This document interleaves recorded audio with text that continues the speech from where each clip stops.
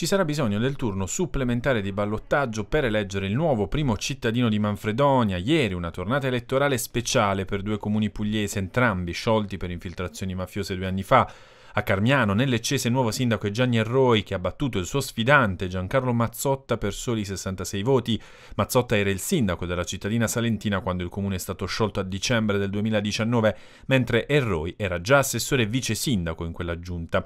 A Manfredonia invece è stato un testa a testa all'ultimo voto tra Gianni Rotici, ex presidente di Confindustria Foggia ed espressione di una coalizione di centrodestra, e l'ex sindaco della città foggiana Gaetano Principe, sostenuto invece da una coalizione di centrosinistra e dal Partito Democratico, che comunque non ha presentato il proprio logo alla tornata elettorale. È Principe ad aver sopravanzato Rotice di circa un centinaio di preferenze, con i due appaiati attorno al 26% di voti.